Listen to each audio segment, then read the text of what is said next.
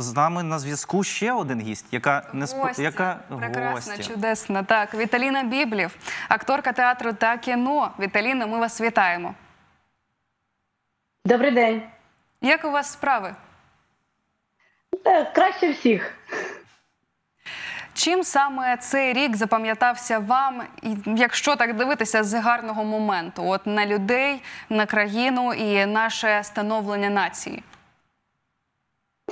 Е, Ну, я для себе відкрила нас, українців, е, бо ми такі е, дуже цікаві люди, як виявилося, сильні, мужні, веселі, незламні. Я по-іншому почала дивитися на життя, цінувати життя, відчувати життя на смак і жити не. Е, ну, от завтра, завтра, завтра. Ні, Е, я живу сьогодні, тут і зараз, бо ніхто не знає, що буде завтра, тому треба жити, не виживати, а жити. Е, Наскільки насиченим було та є ваше творче життя протягом цього, ну на жаль, такого важкого для нашої країни року? Е, попри все, воно було дуже насиченим. Ми утримали і втримались е, разом з театром Золоті ворота. Е, У нас відбулося цілих дві прем'єри. Я з'їздила до Європи. В мене було дві прем'єри в Мюнхені. Зараз я періодично катаюся туди, показую вистави і в Мюнхені, і граю вистави у нас тут в Києві. Також е, хочеться поговорити про волонтерство, тому що ми знаємо, що і ви особисто, і ваші колеги підтримували українців протягом усього цього часу. Про це цікаво дізнатися і нашим глядачам. Е, Так, так, ми акторською братією своєю зробили групу в інстаграм-сторінці. Вона називається Act Lots, е, де ми робили всілякі аукціони. І таким чином ми назбирали на 5 карет швидкої допомоги нашим хлопцям е, е, на фронт. Е, І також ну, такі мілкі, ну, порівняно з каретами справи, там допомагаємо сім'ям, допомагали сім'ям з Харкова, робили таємного санту для дітей. Ну, чим можемо. Зараз ініціатива Act Lots продовжується.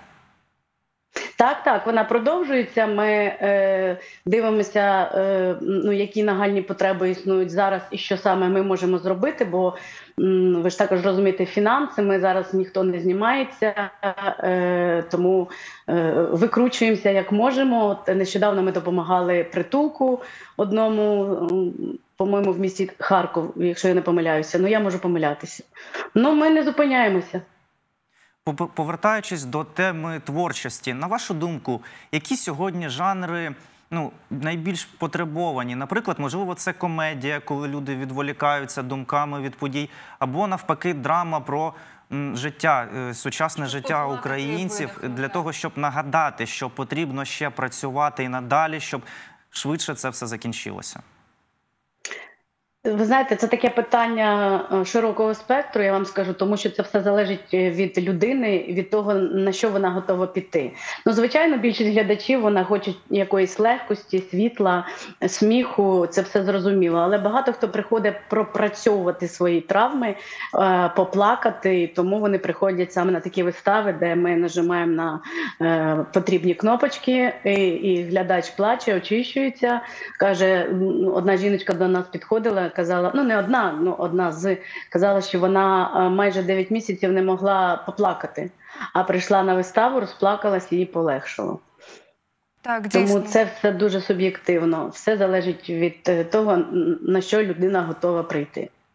Які зараз взагалі вистави найпоширеніші, які набувають, е, набиваються, знаєте, увесь зал? Де саме? У нас в театрі Золоті ворота? Так.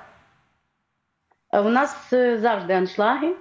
Е, Ну, то, тому що, по-перше, у нас е, театр є бомбосховищем, тому під час повітряних тривог ми граємо, і це величезний плюс. А, а, а по-друге, е, знаєте, за перші місяці війни люди так засумували за мистецтвом. Тому, ну я казала на початку, що ми не чекаємо, ну не відкладаємо на завтра, а робимо те, що можемо зробити сьогодні. Тому у нас повні зали, слава Богу, дякую нашим любим глядачам. А чи ваш колектив, чи можливо ваші е, знайомі е, також із творчого цеху, чи організовували ви можливо виступи у шпиталях, у лікарнях або десь на відкритій місцевості для того, щоб підбадьорити наших військових, переселенців та взагалі український народ?